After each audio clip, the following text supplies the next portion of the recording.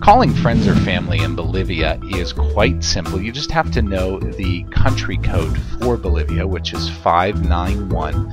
If you wanted to pick up the phone and call a phone number from an internationally enabled phone, you would simply dial 011 plus 591 and then the city code, which would probably be one of these cities or maybe another city in Bolivia, and then the phone number. Again, the country code for Bolivia is 591.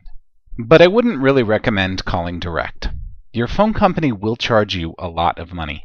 If you want to call a phone number, I really recommend using Skype. We detail how to make free and low-cost calls using Skype in other videos.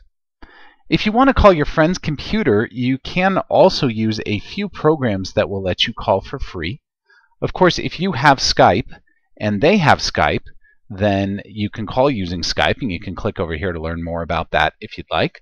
If you're on a Mac, you can use FaceTime, and it's possible that FaceTime may be coming for PC in the future as well. But if you're on a Mac and your friend is on a Mac, then you can both use FaceTime either on an iPhone or any other Mac enabled device, as long as you both have Wi Fi or an internet connection. And another option, if you're on a cell phone and they're on a cell phone, then you can use something called WhatsApp, and inside of WhatsApp, there is a calling feature.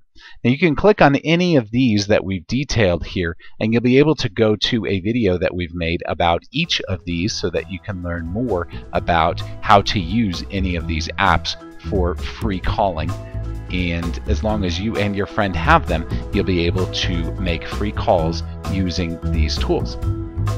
If you liked this video please be sure to give it a thumbs up below be sure to subscribe as we have more helpful videos almost every single day. If you have any questions that we can answer for you, please be sure to come and visit us at showmehowtodothis.com.